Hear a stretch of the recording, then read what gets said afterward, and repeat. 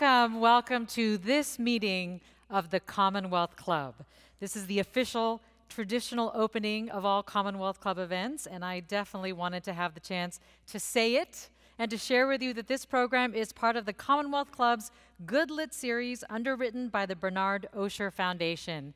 And as George Dobbins said, my name is Mina Kim. I am the evening anchor for KQED News and the Friday host of Forum. And it is my great pleasure to be able to say a few words about actor, activist, king of the internet, according to Taco Bell, as it says on his Twitter bio, George Takei. And of course, as you probably know, George Takei's career, his acting career, spans six decades, but he is best known for his role in the original Star Trek TV series as the helmsman of the Starship Enterprise, Hikaru Sulu. And I could, I could recite actually the opening to Star Trek, uh, not because I'm a huge fan, I'm sorry, but because my oldest brother was. And he was nine years older than me, so he was much bigger and stronger than me. And so what he watched, I watched. And uh, so when I found out that I would have the opportunity to interview George Takei, I immediately reached out to him to brag, of course, and then, but uh, but mainly just to say how cool was it for you? It must have been pretty awesome to see an Asian American on a major TV show who was behaving as an Asian American and not some caricature of an Asian American at that time. And he told me that that really meant a lot, but that it wasn't just about representation. For him, it was what Star Trek was about, which was about the future, and it gave him hope for how Asian Americans would be seen in the future.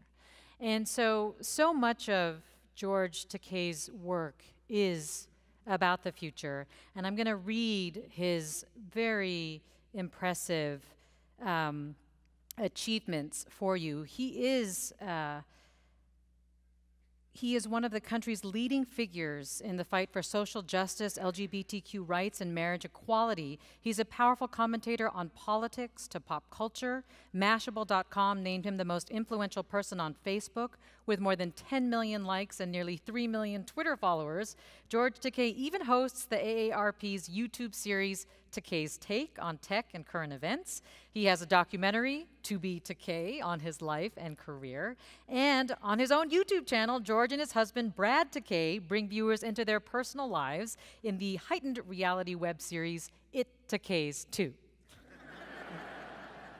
George Takei also recently made his Broadway debut in the musical Allegiance, inspired by his experience in U.S. internment camps.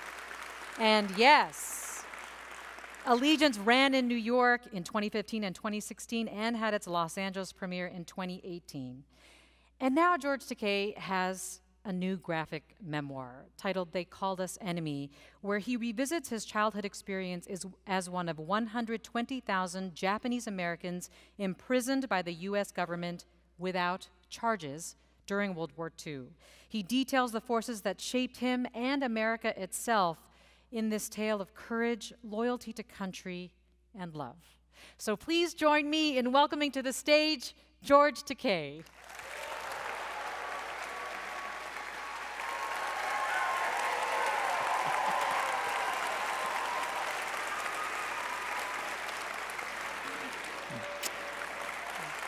Oh my. Thank you.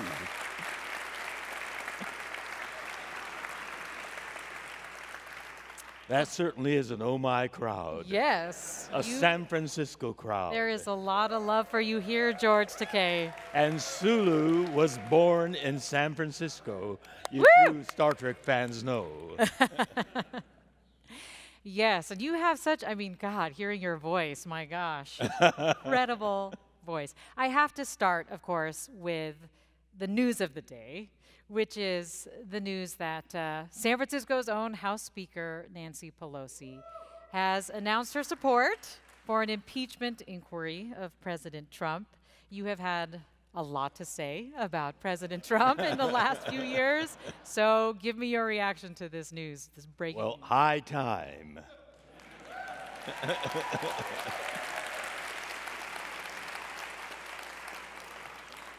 it's uh, something that should have happened uh, much, much uh, earlier, but I think um, Speaker, Speaker Pe- uh, Pelosi was right in waiting for the uh, events to, to pile up. Uh, the Donald has a habit of being his own adversary. I mean, he creates situations that calls for impeachment, and uh, then uh, gets digs deeper and deeper, and and uh, gets uh, further down into the muck.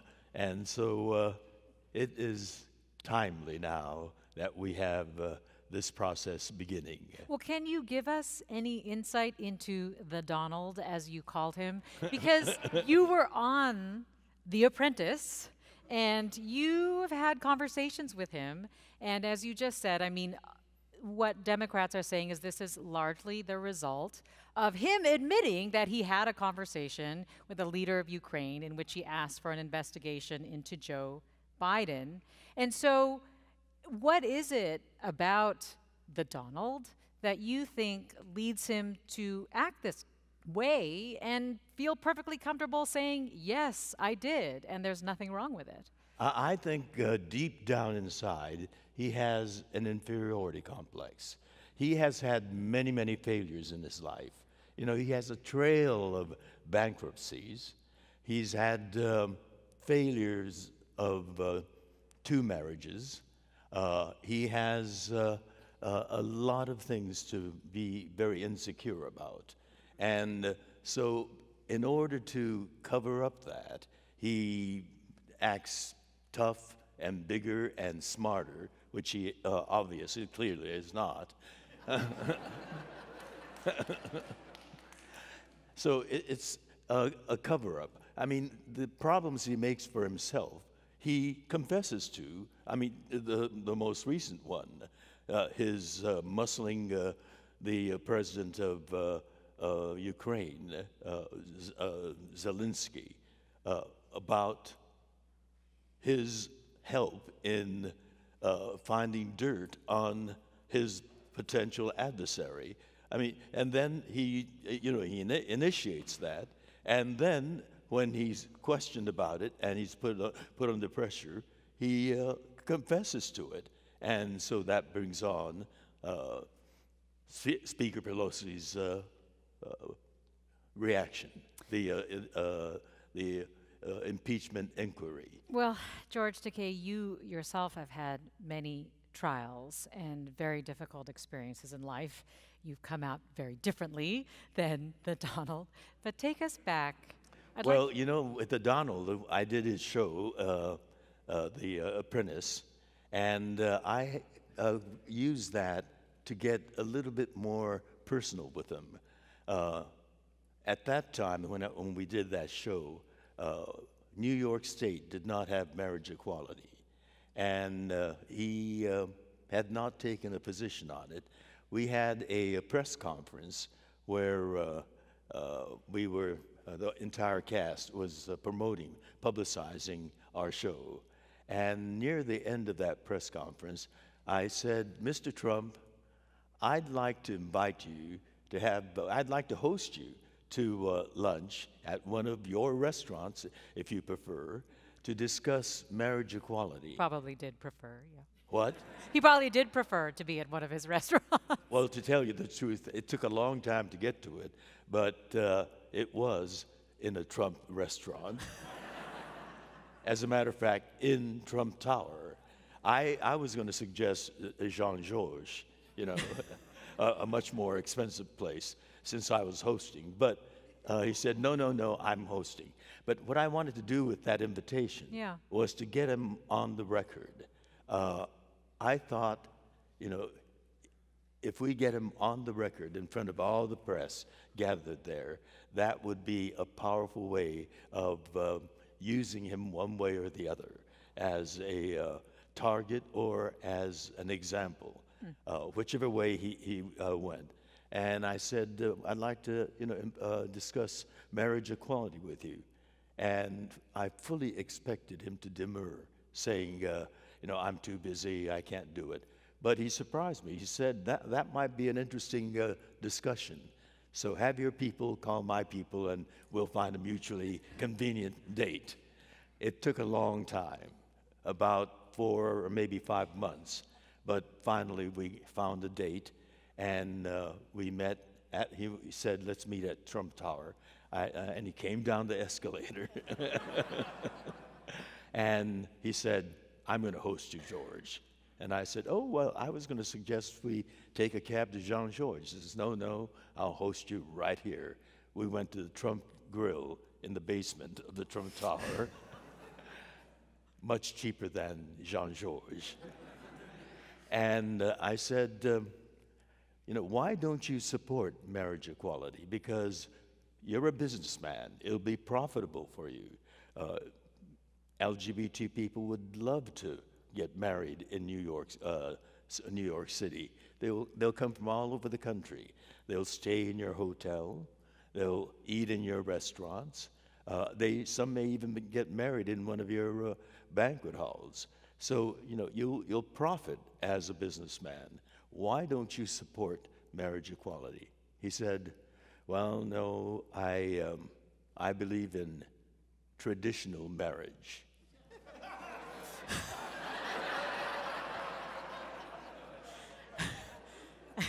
He had been married three times, famously unfaithful through all three marriages, and he said he believes in traditional marriage. I said to him, You know, yes, I believe in traditional marriage too.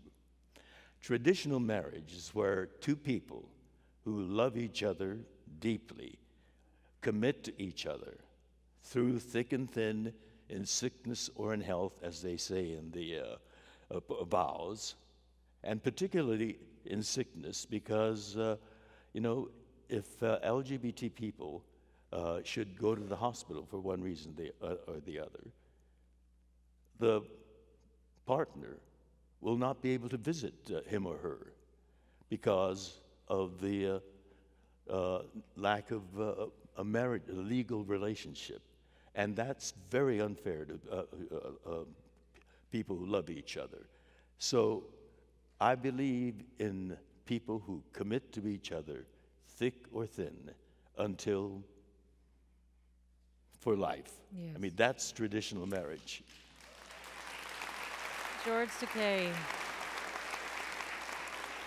you really know how to tell a story, but also how to make sure there is a message and that that message doesn't get lost. And that's one of the things that I really responded to as you were telling the story of your imprisonment in U.S. internment camps. And I was wondering, using your storytelling prowess, if you could take us back to that night when you were four years old and the soldiers, the U.S. soldiers, came for you and your family. Well, actually, I had just turned five years old. Uh, my birthday is April 20th, 1937. Uh, I might note that uh, I'm one month older than the landmark Golden Gate Bridge.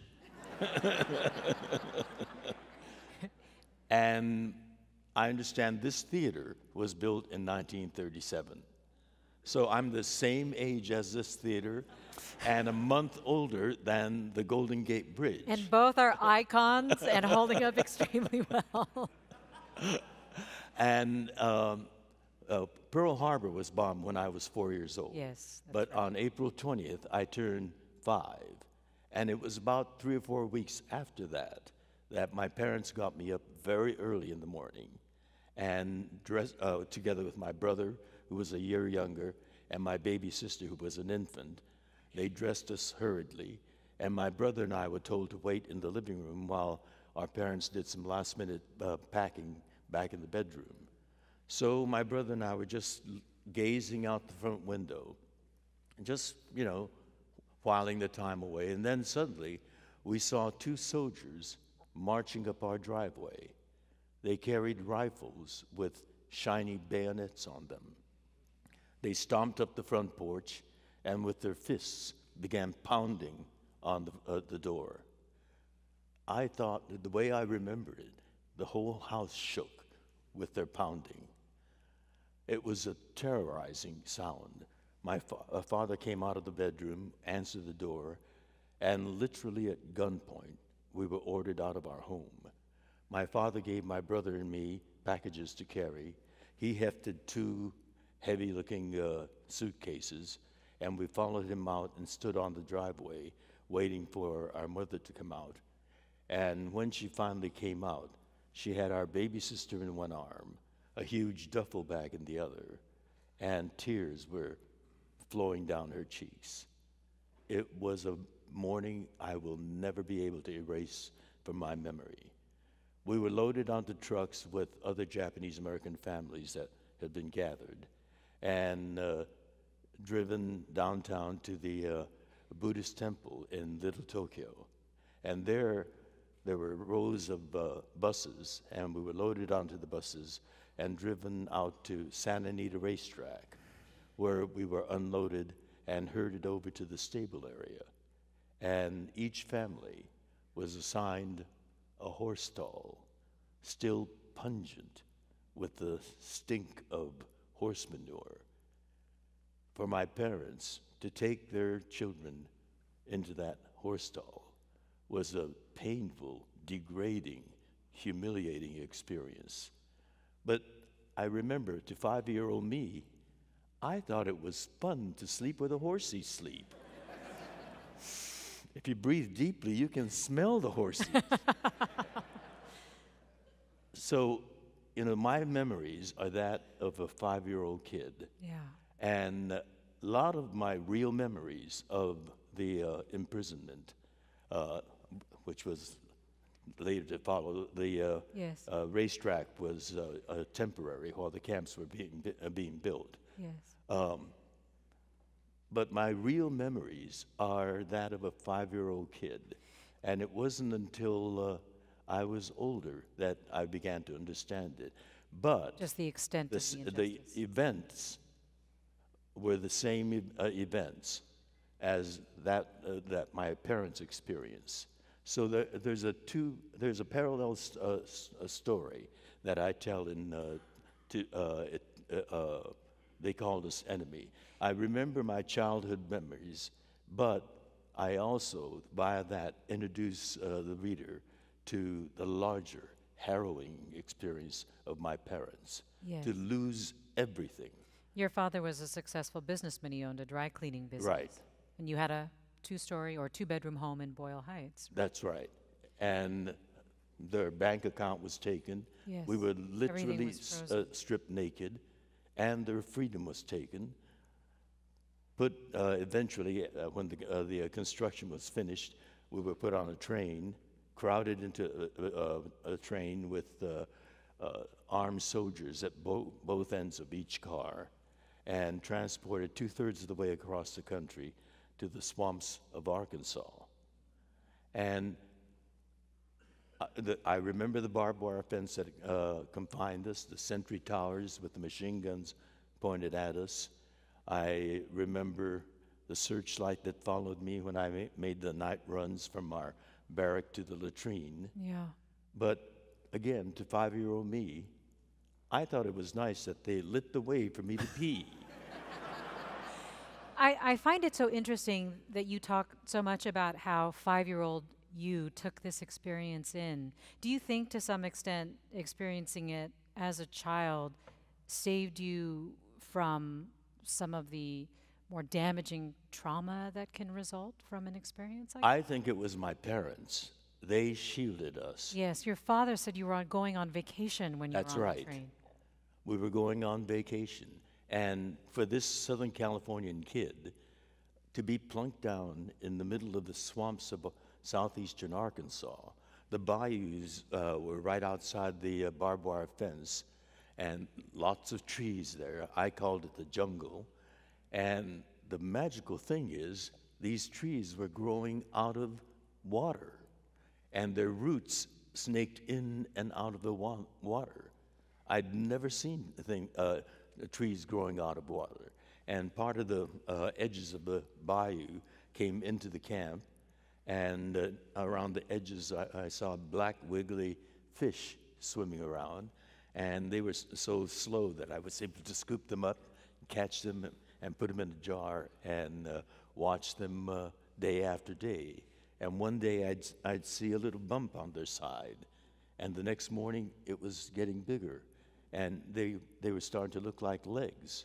And then my uh, black wiggly fish with w- legs lost their tail, and they escaped hopping out of my jar. Fantastical place, this place called.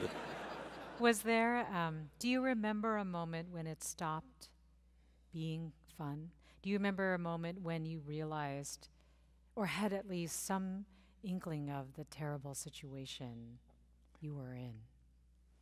I didn't realize then, but thinking back, one night, something made me wake up in the middle of the night, and I saw my parents uh, on the other side, uh, hovering over a, ker- a kerosene lamp, and they were carrying on a whispered conversation, and my mother sounded like she was crying.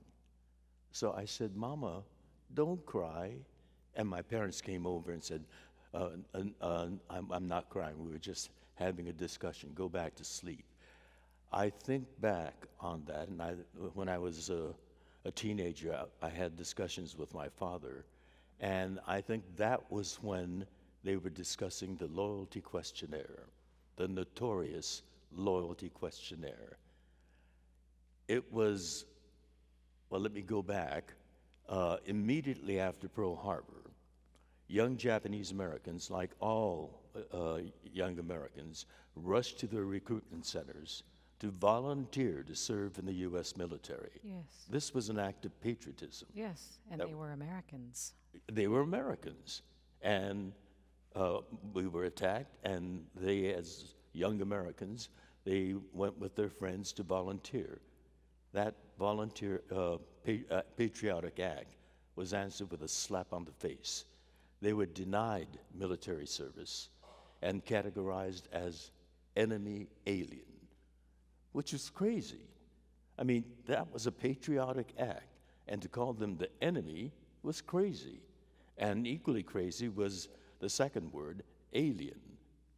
They were born, educated, uh, reared in the United States. They felt American, and yet they were called aliens and then put into these barbed wire prison camps. But a year into imprisonment, the government realized they had a wartime manpower shortage. And here were all these people, young people, that they could have had, that they, uh, they categorized as enemy alien. How to justify drafting them out of a barbed wire concentration camp? It was a dilemma the government had.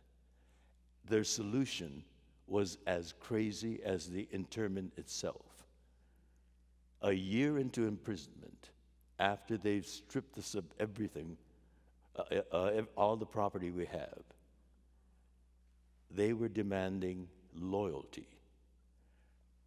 It, uh, they came down with a loyalty question, questionnaire, which everyone in the, in the 10 camps had to respond to, everyone un- over the age of 17.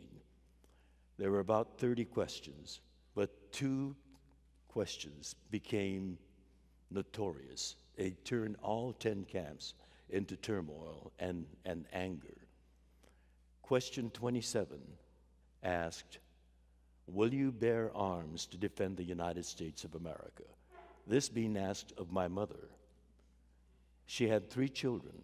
My baby sister was a toddler by then. I was six years old. My brother was five. She was being asked to abandon her children and bear arms to defend the nation that's imprisoning her family. It was preposterous. Both my parents answered no to that question. The next question, question 28, was one sentence with two conflicting ideas. It asked Will you swear your loyalty to the United States of America and forswear your loyalty to the Emperor of Japan? We're Americans.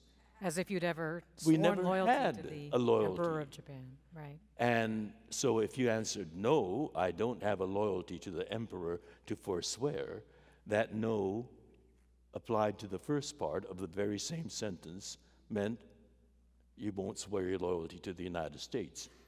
If you wanted to answer yes to that, that yes applied to the second part. Uh, will you forswear your loyalty to the uh, Emperor of Japan? That yes meant you were, you were confessing that you had a loyalty to the emperor and were now prepared to forswear that and repledge your loyalty to the United States. It was an insulting question for them to presume that we had a racial, inborn loyalty to the emperor. My mother was born in Sacramento, California. My father was born in, uh, in Japan, but uh, he lost his mother when he was uh, still very uh, young. And my widower gra- uh, grandfather decided he's going to start life anew in uh, America. Yeah, so he came here as a little boy. He came to San Francisco with uh, his two sons. My father was the younger. And so my father was reared here, uh, educated here, went to college here. Uh, he was a San Franciscan. And so, uh, the, for, yes, my father was a San Franciscan, that lone San Franciscan that applauded. As a matter of fact, my father lived more of his life in Los Angeles than in San Francisco. And so I said, Daddy, how come you keep calling yourself a San Franciscan when you've lived longer in Los Angeles? yeah. He said, once a San Franciscan, always a San Franciscan. So, George, even though you yourself, you were a child, you did not have to answer that questionnaire, I wonder how much of your post internment experience you have felt like you've had to prove your Americanness, especially after um, after you were released and your family went back to Los Angeles. You write about how you had a, a school teacher who would call you that Jap boy, and it really made you realize in many ways that you were not seen as American and to really feel it from other people's treatment of you. And so I often feel like there is an element of that for almost all Asian Americans to some extent to be seen as truly American. But I wonder how much that played a role in, in your career and as you pursued acting roles and accepted certain acting roles. Well, being freed from camp was as traumatic as uh, when the soldiers came to take us away. You'd think that, you know, being freed, we're, we're not behind Yeah. barbed wire fence. go out But we were, we were impoverished. They took everything from us. And uh, 1946 is still immediately post war. And the hostility, we came back to Los Angeles, but the hostility toward us was still intense. Jobs were difficult, uh, housing was impossible. Our first home was on Skid Row in downtown Los Angeles. And for us kids, I was eight years old by that time, and my baby sister was now four. She, she spent all her life, you know, in uh, behind barbed wire fences. Uh, she was four. We came back to Los Angeles to Skid Row, and Skid Row, the chaos and the noise and the stink was was horrific.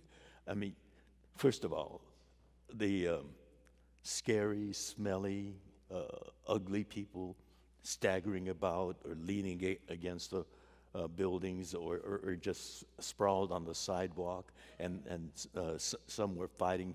Two women, I remember, were sh- shrieking at each other and, and pulling each other's hair. We'd never seen anything like that. And the smell of human waste everywhere on the street, in the hallways, was unbearable.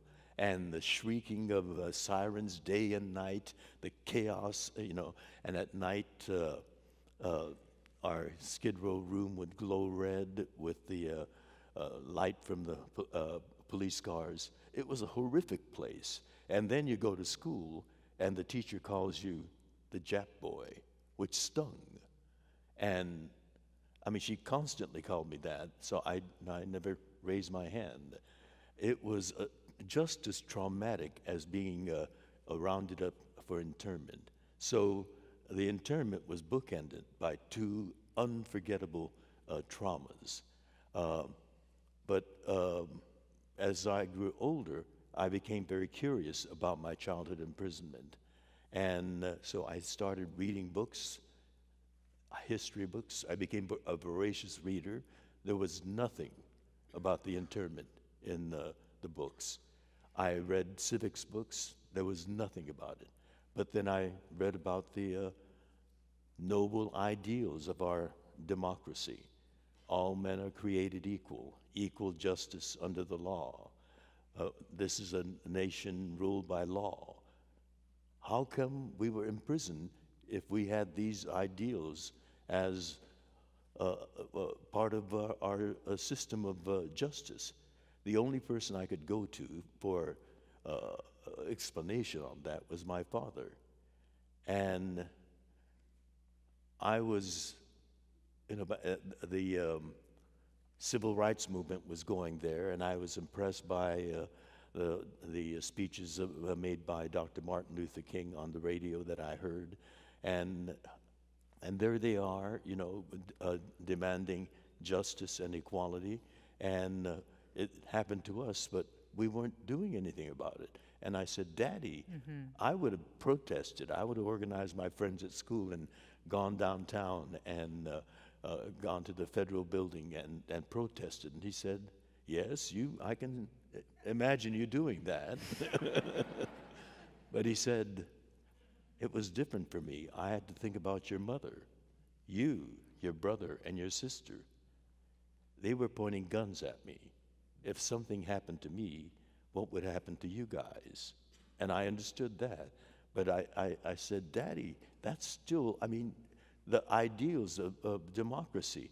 How come you didn't uh, uh, do anything about it? And, and sometimes those uh, after dinner conversations got pretty heated. And I remember one heated conversation where I got really excited and, and, and I said something that uh, I still regret to this day. I said, Daddy, you led us like sheep to slaughter into the internment camps. And suddenly the give and take of uh, the conversation stopped.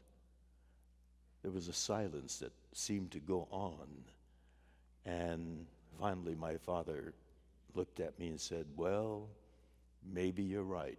And he got up and walked into his bedroom and closed the door. Immediately, I knew that I hit a nerve. I'd hurt him. And I felt terribly. This man that I loved and who had suffered so much during the internment.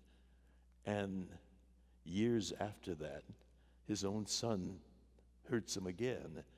And I felt like going to, to his door and not, uh, knocking on his and apologizing, but it felt awkward.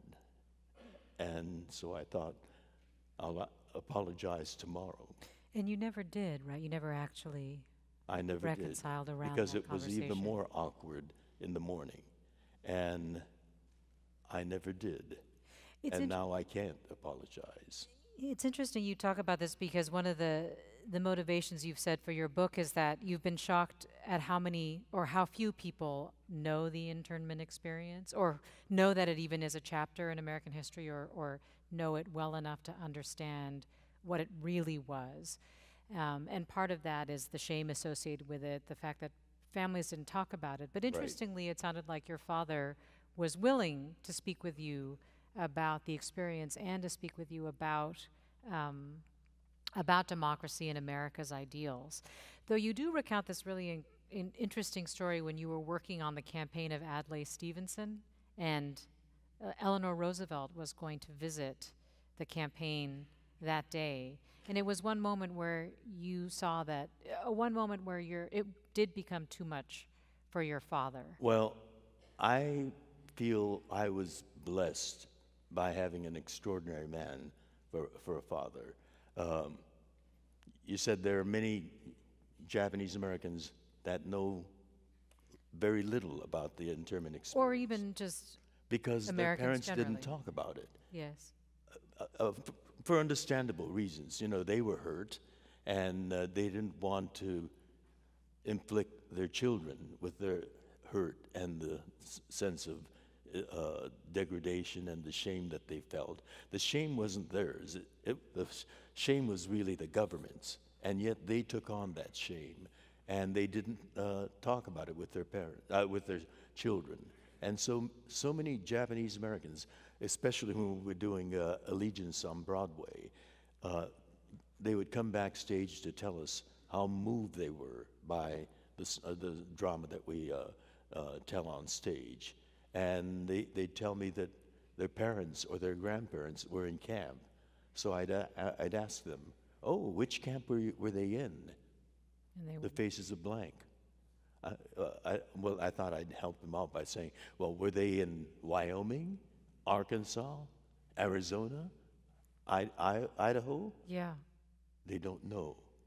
So I realize how uh, how blessed I, I was to have my father, and uh, we got to talking about uh, our go- uh, government, and I learned about our government and how uh, and its uh, and what what it stands for from my father, who was so abused and so uh, robbed of, of so much of his, you know, that chunk of his life.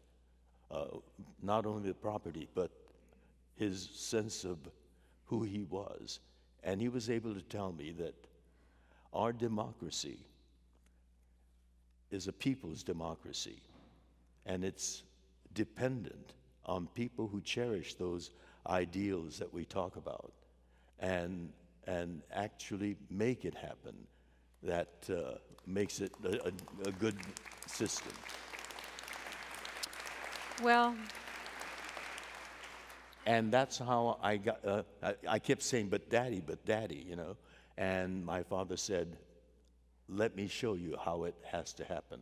And one Sunday afternoon, he drove me downtown to the Adlai Stevenson for President campaign headquarters. He said, This is a participatory democracy, and we have to participate in order to keep it true to what its ideals are.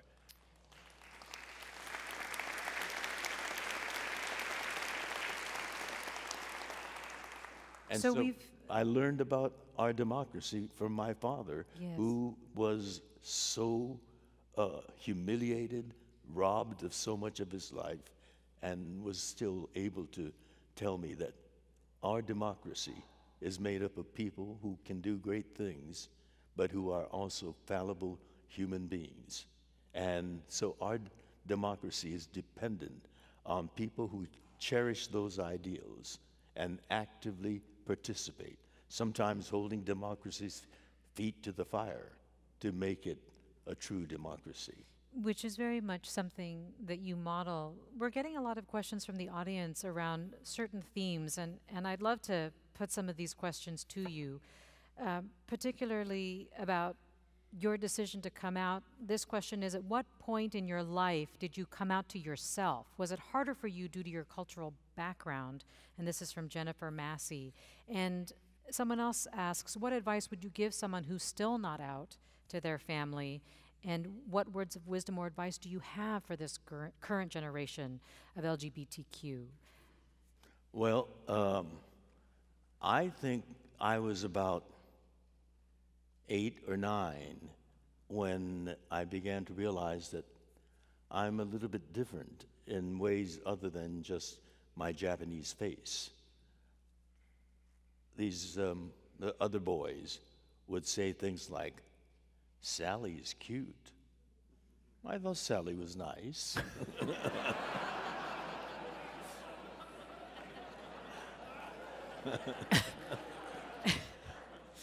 or there was uh, another, uh, this was in junior high school, a girl named Monica who was prematurely blossoming out in full womanhood.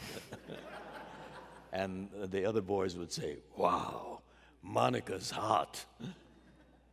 I thought Monica was nice too, but you know, not, nothing to get that excited about. but what got me excited was Bobby.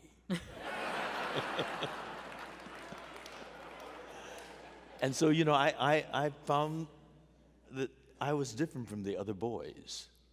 And I didn't want to be different because we were in prison because we were different. And all connected. I wanted to be as normal as possible.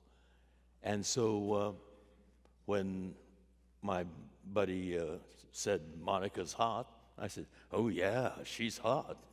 I didn't mean it, but I was just a- acting to, you know, be one of the guys. And when they started to date, I dated. And when my buddy wanted to uh, double date, we double dated. But to tell the truth, I was more interested in my buddy than in my date. so, you know, there's that period when you're uh, a teenager that Yeah. you really want to be with, uh, be like everybody else. And eventually you had a career to protect as Exactly. well. And I, you know, uh, when I was a teenager, there was a movie star that I was really smitten with. How many of you here remember the name Tab Hunter?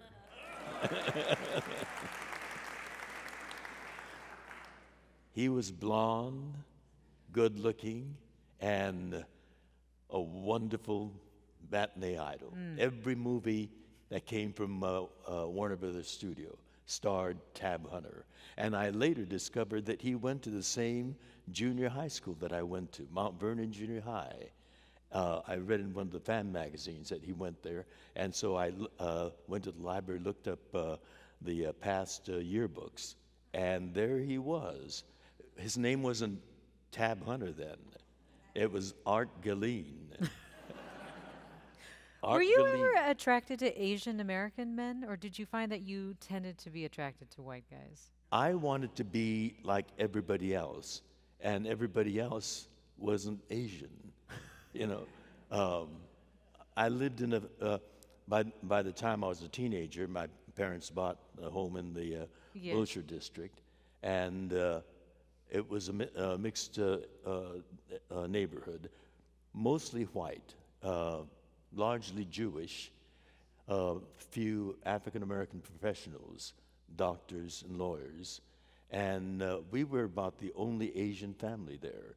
So, uh, you know, Just sort of what was around you, but also do you think you sort of internalized some standards of beauty in, in our culture? exactly. Drew you to- Tab Hunter was the. Yeah, he was sort of the epitome of all of that. Well, what But- advice would but- you give to somebody who isn't out yet? Let me tell you about Tab Hunter, though. Oh, okay. You really want to talk about it. I saw every one of his pictures, you know, Damn Yankees, Battle Cry, but one of the scandal sheet exposed him as being gay. And suddenly, no Tab Hunter. He just disappeared. And that was a lesson to me. You can't be an actor and have a career if you're known as gay. And by that time, I was starting to understand the word gay, and it applied to everything I felt. Tab Hunter, Bobby, you know, cute boys, uh, the football hero on the football team, the quarterback, you know. And so I was understanding a little bit more about me. I am different, not just my face, but my orientation. But I loved acting, and my career was going fairly well.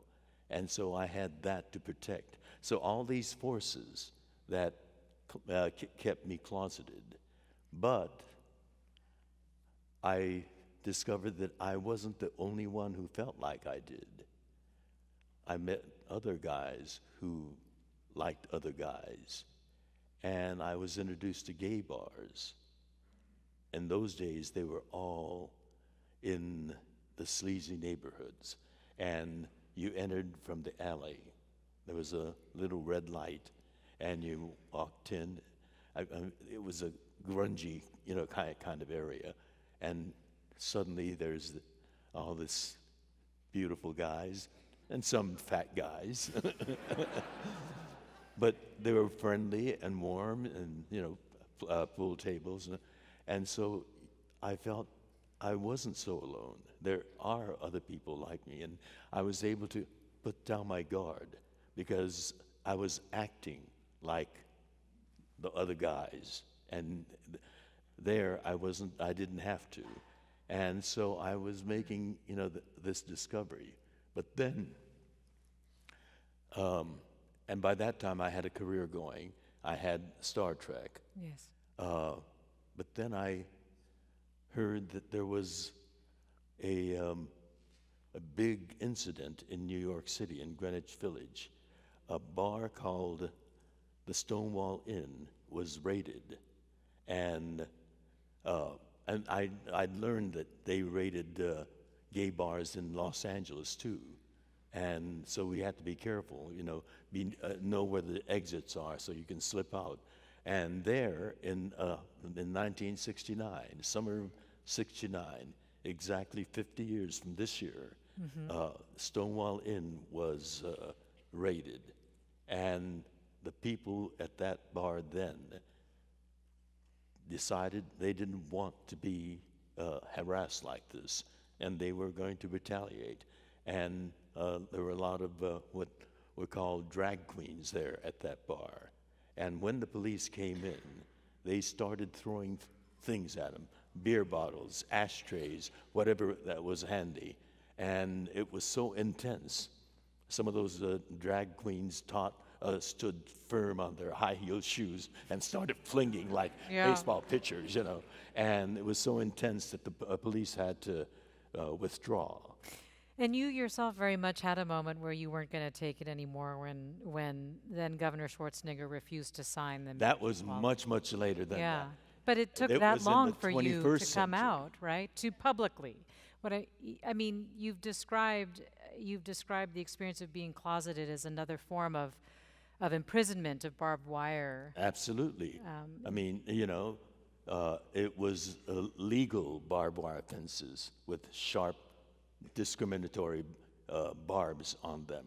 We were, you know, uh, imprisoned in the, by law uh, into uh, just gay bars and psychologically feeling that we are outliers.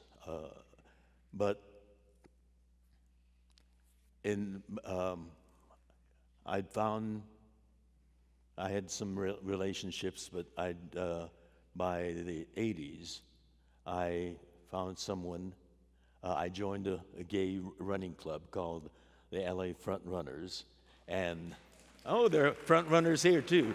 Yeah, I've run with the San Francisco front, uh, front runners too in my running days, um, and uh, uh, the um, best runner in the club was this lean, tight muscled uh, guy named Brad. he was the best runner in the club, and I heard that he had run a couple of marathon marathons. I'd never wow. done any. So I went up to him and said, uh, Can you train me for my first marathon? Were you really interested in running a marathon? I mean, did you end up doing a marathon? I did one. Oh, you did. particularly trained by Brad. You had to keep it going. You had to keep it going. And things happened during the course of uh, the training, and I did my first marathon, and I finished it. Wow. Brad came in more than an hour ahead of me. He's right here. Brad, Brad Takei. Brad Takei.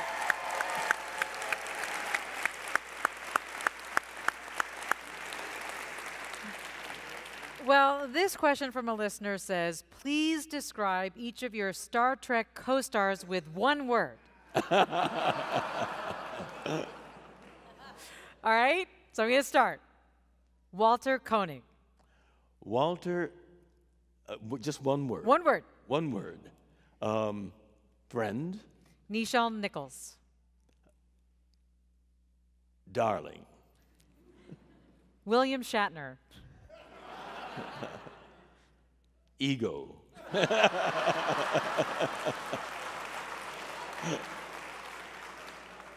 James Doohan. I hope I'm saying that right. great drinking buddy, He squeezed it in. DeForest Kelley. gentleman, Leonard Nimoy. conscience. Hmm.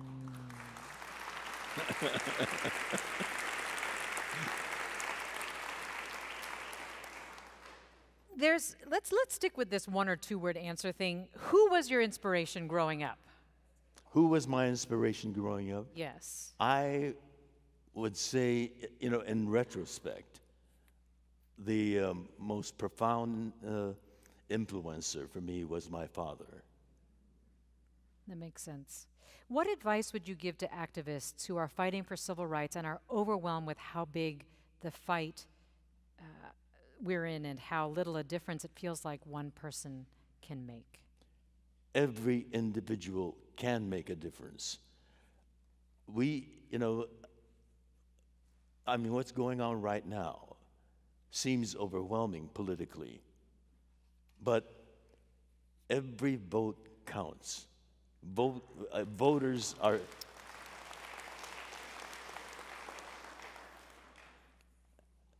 That guy that's living in the White House would not be uh, the president.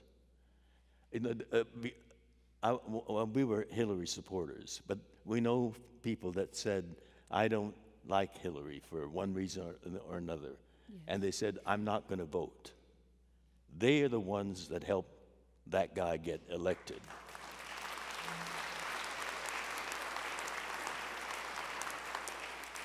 Every vote counts. For example, George Bush, because of the closeness of the vote in Florida, it got thrown into the Supreme Court. That's how people that didn't vote uh, in the uh, Bush Gore race uh, helped elect George Bush. Every vote counts. And by your not voting, you have helped the person that you uh, didn't want in office get into office. Every vote counts. And they say, you know, I'm just one vote. But you know, Dr. King was one person. We all have the gift of influencing others. And Dr. King was a major one vote, one voice that multiplied because he was so uh, uh, eloquent and so moving. And he uh, committed himself, body and soul, to the cause.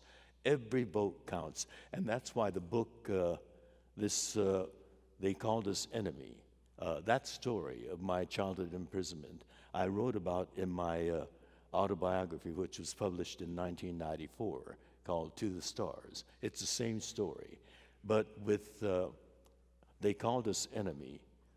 I chose to do it as a graphic memoir or uh, comic strips, uh, targeting the young uh, reader, teenagers, young adults, because I wanted, you know, I, I was a, a comic book reader when I was a kid. I love comic books. And when you're a teenager, you know, you absorb in everything that you read into through your pores, and it stays with you. And so I thought we need to reach people in their teenage years when they're absorbing in information, because uh, t- to this day I can share my childhood uh, imprisonment with someone I could I consider well read, well informed, and they're shocked that something like that happened because they never knew about the internment of uh, innocent people simply because of our race. And so I want to reach young people who are the voters of tomorrow. And once they know uh, the history of uh, uh, the fallibility of a people's government, uh, they will not be non voters. They will be voters. And they will prevent the kind of thing that's happening now on the southern borders, which is a new low.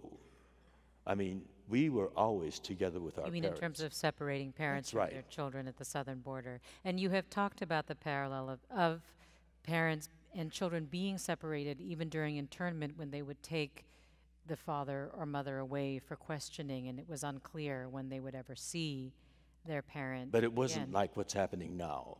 Um, uh, i- Yes. Immediately after Pearl Harbor, the FBI swooped down on Japanese American uh, families and uh, took people that they considered leaders of the community. The so called leaders were Japanese language teachers, Buddhist ministers, martial arts instructors. Right. They weren't anyone uh, doing subversive work, but because they uh, were teaching something to do with Japanese uh, culture or martial arts, they were swooped up. And, and so uh, many families uh, went into internment without the father. Well, this question is from an audience member who writes Do you think America will ever recover from this presidency? Can we return to a quote, normal? We will, and today's news is already evidence of it. He will be impeached. You talked a little bit about voting as an act of an act that can that an individual can do that can have an impact. There was one thing that I was really struck by in your description of your experience as a child. You talk a lot about your dad and rightly so. But one of the things that you really highlight is that your mother snuck a sewing machine among her possessions that she could carry when she was removed from her home and Which was sent to the forbidden. And it was forbidden. Anything mechanical, anything with sharp edge, edges or points right. were forbidden. What what what did that mean? What did that tell you about your mom? Because there's clearly something about that that you connect with in your mother. My mother was a tough lady. She, um, everything was taken from us. We could only take what we, uh, we could carry. My father's car uh, would have been abandoned except for a neighbor who offered $5. So my father sold our car, a Pontiac, for $5. There were some families uh, that had uh, rare Japanese uh, chinaware, and the neighbor came and offered a dollar for them. And I, I remember uh, uh, hearing my mother uh, tell us about that lady who took those plates right in front of that uh, lady that offered a dollar and slammed them on the floor right in front of her. She was so angry. It's it's these acts of resistance. It felt like that the sewing machine was your mom's act of resistance. It was a brand new uh, portable sewing machine. it was heavy. That duffel bag she was carrying had the sewing machine in it. It was wrapped in blanket, baby blankets, and sweaters. And then on top, she had uh, boxes of animal cookies and uh, uh, Cracker Jack and uh, uh, storybook for uh, uh, us to have read by, by our father. It was a heavy duffel bag. And she wouldn't let anyone, not even my father, carry that. She marched right past those armed MPs, military police. I mean, that was a gutsy thing to do. yeah, it was. She she walked right past them, and uh, all uh, through um, the uh, uh, Santa Anita racetrack uh, uh, housing for uh, however many months, four months. Uh, she uh, never opened that, uh, and she uh, carried it in uh, onto the train and all the way to Arkansas, And then once we got into our barrack, she revealed to my father and us.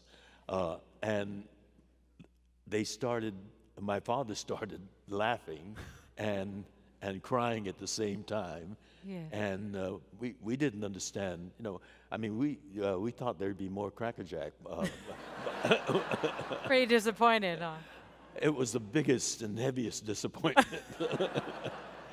uh, and, uh, you know, they were both laughing and crying. And we laughed along, I, I remember, but we had no idea why we were laughing. We were just joining in. Yeah. Later on, now, I understand that What there that was a little uh, bitterness in those tears Yes. as well. But she was a gutsy lady, and she exhibited that kind of determination. She also hated the fact that she couldn't cook for us. That was another th- thing that was taken away from her. We all had to eat in that mass mess hall, lining up three times a day and eating lousy food in a noisy mess hall. Yes. But that was part of the routine of incarceration. So this question is Asian Americans are the fastest growing racial group in America. How do you feel about the group's representation in politics and media? And I would take it a step further actually and, and talk about I mean, even just this year, we are seeing Asian American actors stand up for their identity to be able to tell their own stories and control how they're told. It's very hard, especially when you were coming up as an actor you were subject to whomever had the resources and the power, um, however they saw Asians and wanted them represented, you had to basically portray that to get work. when we talk about, for the first time in 25 years, like since the Joy Luck Club, we had a movie with an all Asian cast, how much progress have we really made, do you feel like? Progress is slow, but it is we are advancing forward. And we are now the producers and the writers and the directors behind these projects. Uh, uh, uh, Crazy Rich Asians or Farewell. Joy Luck Club was, uh, was how many decades ago? Uh, we are making progress. As a matter of fact, I, together with three other partners, we have the um, uh, film rights to a, a best-selling novel. It was a bestseller about uh, nine, ten years ago. Uh, some of you may be familiar with the book uh, "Hotel on the Corner of Bitter and Sweet." It's a ah, some of you know the book by Jamie Ford, who's Chinese American, uh, half. Uh, he's a Ford, but he's uh, his other half is Chinese. Yeah. And Well, let it go. No, I'm just kidding. It's about a um, young Chinese man and a Japanese American woman uh, before Pearl Harbor. They uh, are um, students at a very exclusive uh, white high school um, on a scholarship, and they have to work, and they they work in the cafeteria, and they fa- uh, fall in love, and then Pearl Harbor ha- happens, and the girl is taken away, but he loves her so much that he uh, and this uh, story takes place in Seattle. He uh, goes to the internment camp in uh, uh, Idaho, where uh, she's incarcerated. And because he's Asian, he's able to sneak in and mingle with the, the incarcerated Japanese Americans. But eventually she's found out. And uh, uh, is a story, a poignant, very poignant love story. He marries a, a Chinese American woman, and he has uh, a son. It, it's two father son relationships as well. Uh, the boy's uh, immigrant, Chinese immigrant father, and their relationship, the, the big cultural uh, difference there. And he is um, uh, always sending money to China because Japan is uh, uh, invading China, and he's uh, supporting uh, the uh, uh, Chinese cause. And so here he is in love with a Japanese American girl that's in a prison camp in the U.S. And his father is a passionate supporter of the Chinese fighting Japanese aggression in China. Uh, and then he has a son of his own, and uh, he falls in love with a Caucasian uh, girl. And uh, so there's uh, his adjustment to uh, his son's values, but also the love between his father and his, his, his love for his son is there. It's a beautiful uh, relationship story. Uh, his love for the uh, uh, Japanese girl, Japanese American girl, but also his love for his father as well as his love for his son, and uh, his son being uh, a contemporary uh, techie um, helps him find his true love. Uh, and there's a poignant ending to the book. And uh, those of you that read the book, I think you'll agree it's a very filmic story as well. Yes. It lends itself to. Uh, um, so there's a lot of dimension and a lot of it it it touches on and alludes to a lot of things about the Asian American experience. right. And raises the awareness of uh, the internment story as well. Raises the awareness. of And that's one of my internments. missions in life. Yes. We are out of time, but I, I do want to ask this question, and I just want to congratulate this audience. These are some of the most amazing questions I've ever received, and I wish I could ask him all of these. Um, And a very responsive audience, too. Yes, I love San Francisco audiences.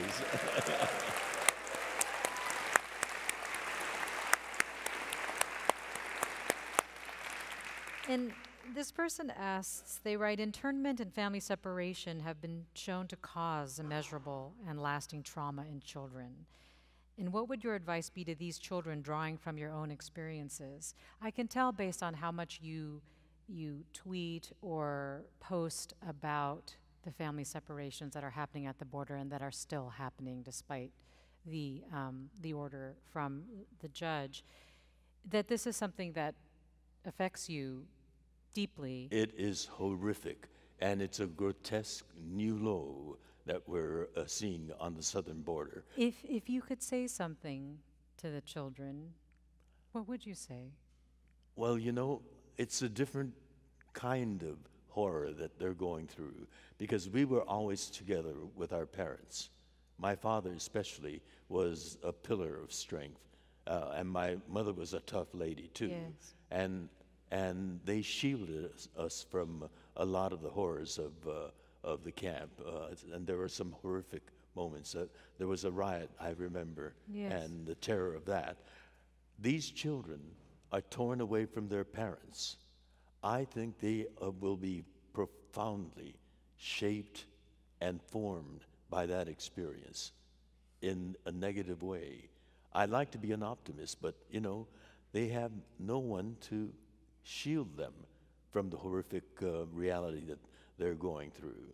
And to really underscore the evil of this administration, some of the children are scattered in the outer reaches of the United States from the southern border, places like um, Minnesota, Wisconsin, New Jersey, deliberately to, to uh, tear them away from any kind of connection with uh, where they came from, the culture and the people that they came from. And when the uh, courts order them to bring them together, this administration is so incompetent that they can't find the, children, or the, the, the parents might have been deported already, and so they're, they're- they're never going to get together. And, and And yet you're still optimistic about America, about America's future. on a larger scale, um, I mean, these poor children's lives, I think, are, are profoundly uh, going to be shaped by this uh, without their parents. Uh, but when we were incarcerated, to illustrate the progress that we made, when we were incarcerated, every elected official, in fact, the whole country, uh, was swept up by war hysteria. All the uh, politicians, from city council to the presidency, uh, were Earl vilifying Warren. us. Earl Warren, only one uh, major elected official, the governor of Colorado, Ralph Carr, stood up and said, This is wrong. This is uh, uh, unconstitutional. And for that principled stand, his political career was destroyed. There were uh, individuals like uh, Harold Nicholson, who had uh, a bookstore in Pasadena, uh, a Vroman's bookstore, and he uh, was committed to uh, helping uh, Japanese Americans as much as possible. He brought, drove out to Manzanar, which is a good three, four hour drive from Pasadena, and he donated those books. And he came every month on an appointed date. On one of those drives, he was shot at by rednecks. Bullets uh, uh, pierced his car, but he got to Manzanar and uh, donated the books. But the people of at Ma- uh, Manzanar said, "This is it. He's not going to come back again." The next month, at the appointed time, he still came back with books. Uh, an, Harold Nicholson. Again, San Francisco, the much vaunted American Civil Liberties Union, ACLU, the great uh, liberal uh, progressive organization, as a national organization, stayed neutral during the Second World War on the issue of uh, the internment of Japanese Americans. Only one chapter, the San Francisco chapter, stood up and said, This is wrong. And the attorney, who's one of my, my personal heroes, said, I am going to, uh, no attorney will, would touch any Japanese American uh, case. He said, I am going to fight for Japanese American rights. And the uh, three uh, Supreme Court uh, challenges uh, to the internment Gordon Hirabayashi, Min uh, uh, Yasui, and Fred Korematsu challenged the internment, and they were represented by Wayne Collins, the San Francisco attorney.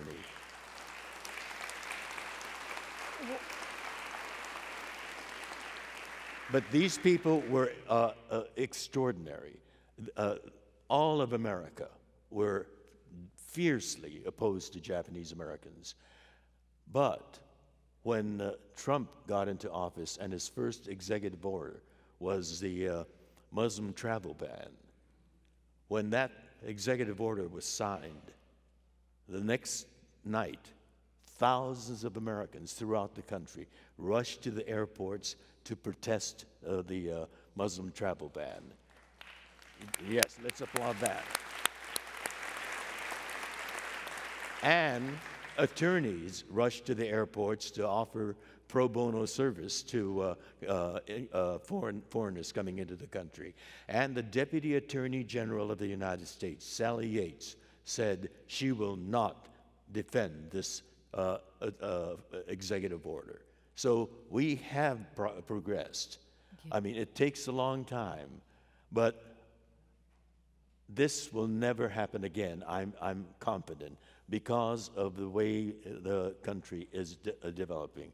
The, the, uh, the ugly phenomenon of uh, this orangutan getting into the pre- presidency.